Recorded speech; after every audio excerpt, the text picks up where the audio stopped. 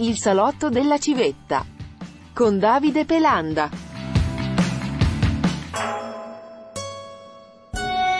Buongiorno a tutti e bentrovati al salotto della civetta. Io sono Davide Pelanda, trasmetto da Caffè Italia Radio.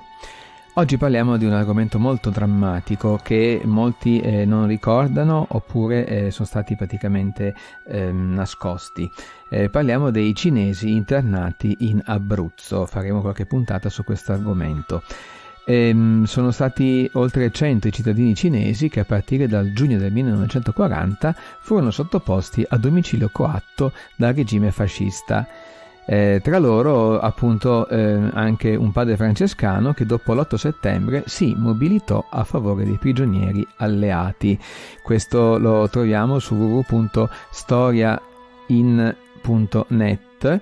Ehm, su, è un articolo di Vincenzo eh, Grienti del 2015. È un capitolo, dice lui, della storia della seconda guerra mondiale, originale e poco conosciuto, quello relativo a 116 cinesi internati a Isola del Gran Sasso in Abruzzo.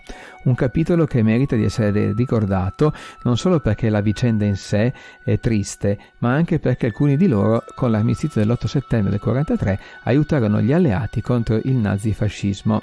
Tra questi anche padre Antonio Chang, un francescano giunto da Assisi per sostenere moralmente e spiritualmente i propri connazionali.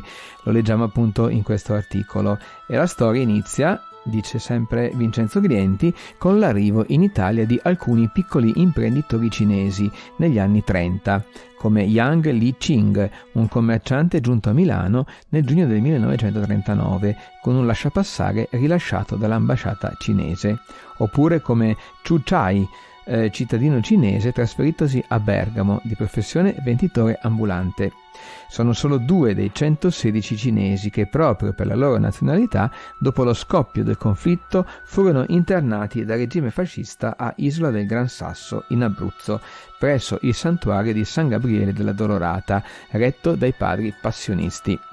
L'unica loro colpa era quella di avere il passaporto cinese e di trovarsi nell'Italia fascista, alleata del Giappone con l'asse Roma-Berlino-Tokyo e di conseguenza anche lei nemica di quella Cina con cui l'impero del Sol Levante era in guerra dal 1937.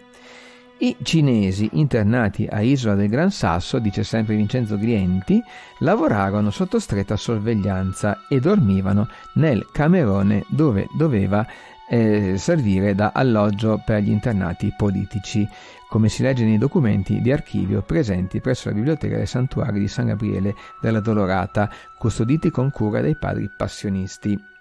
E ancora, dopo la firma dell'armistizio dell'8 settembre del 1943, i prigionieri inglesi evasi dai campi di concentramento italiani si diressero verso la linea del fronte, nella bassa Italia. Molti di loro furono ospitati nel santuario e aiutati dai cinesi, spiega il professor Enzo Orlanducci, presidente dell'Associazione Nazionale dei Reduci della Prigionia, dell'internamento, della guerra di liberazione e i loro familiari. Tra i cinesi anche padre Antonio Chang Chang, un frate francescano, dicevamo prima, cappellano eh, del campo di concentramento di Isola che dal 41 sosteneva moralmente e spiritualmente i suoi connazionali. La sua attività pastorale non venne meno neanche in quelle circostanze, ricorda eh, Vincenzo Grienti eh, sul sito www.storiain.net. Basti pensare che 40 di essi ricevettero i sacramenti il 4 agosto del 1941. In quella occasione fu il nunzio apostolico Francesco Borgoncini Duca a presiedere la prima comunione e la cresima, come riportato in prima pagina dall'Osservatore Romano del 4-5 agosto 1941.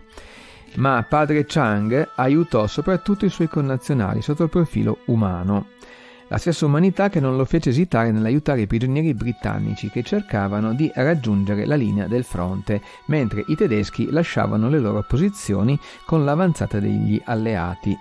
Per questa sua attività, il 27 novembre del 1943, padre Chang cadde in trappola allestita dai tedeschi, che si spacciarono per prigionieri inglesi. Dichiaratolo in arresto, i tedeschi perquisirono la camera di padre Antonio Chang e qui trovarono, oltre a un apparecchio radio ricevente e una macchina fotografica, anche una rivoltella, come si legge nei documenti di archivio custoditi presso il santuario. Il religioso fu arrestato e condannato alla fucilazione, inutili i tentativi di salvarlo da parte della diplomazia della Santa Sede, come si può leggere nelle corrispondenze che allora l'allora nunzio apostolico in Italia, Monsignor Francesco Borgoncini Duca, e il ministro generale dell'Ordine dei Frati Minori Conventuali, padre Beda Maria S., aveva scritto anche Monsignor Giovanni Battista Montini, futuro Paolo VI, allora sostituto della segreteria di Stato, fu messo a conoscenza della vicenda, senza però riuscire a risolvere la drammatica situazione. Tuttavia, proprio quando stava per essere sottoposto a condanna capitale, un bombardamento alleato lo fece scampare a morte sicura, un vero e proprio miracolo che Padre Chang attribuì sempre a San Gabriele con questa prima puntata su questo argomento dei cinesi internati in Abruzzo, Davide Pelanda vi saluta e vi augura una buona giornata. Alla prossima puntata. Il salotto della civetta con Davide Pelanda.